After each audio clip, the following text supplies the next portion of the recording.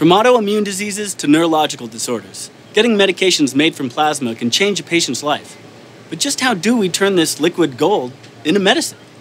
I'm Andrew Chapman, and I'm at the Canadian Blood Services Testing Facility learning how medical laboratory professionals help turn the plasma you donate into a patient saving resource today in the lab.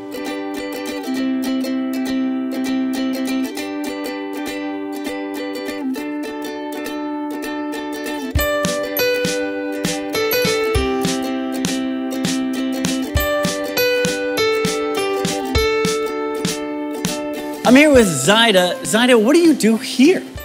I am actually a lab assistant and I work with Canadian Blood Services for 15 years now. And um, what we do is we are responsible in processing hospital orders. So, from what I understand, when the plasma comes back here, it's turned into plasma protein via a process called fractionation. Is that right? Yes. What is fractionation?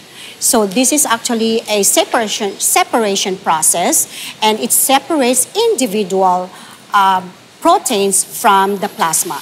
Wow, sounds pretty high tech. So I understand that's done somewhere else, and then it comes back here. Then, how do you get it to the patient? It actually goes to distribution center, and from the distribution center, it goes to the di distribution sites, and from the distribution sites, we process that order and directly sends it to the hospitals. Wow, that's amazing. It's almost like an assembly line. Every part has an important job to do. Correct. And uh, I understand that there's what? There's what? Two warehouses, nine distribution centers, and like hundreds of hospitals. How do you know what each hospital needs?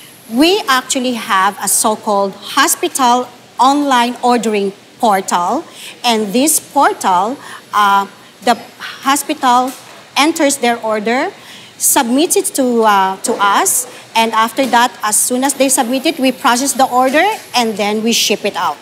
Wow, that's amazing. So when the hospitals place their order, what exactly are they ordering? We are actually sending medications to the hospitals. Wow, that's pretty important stuff. Correct. You're going to send out anything. Sending out Yes. Potentially life-saving medication is a great it thing to send out. So this place just looks like a bunch of boxes, but it's really an important Correct. place. So what's your favorite part about this job? My favorite part of this job is we're helping people and we are saving lives. Yeah, Very much so. Very cool. Well, thanks so much for letting me know about all that. Thank you so much as well. Watch the next video in the series to see the final step of our journey from donor to patient. Or, if you want to see more videos like this and learn about what happens in the lab, go to medlabprofessionals.ca.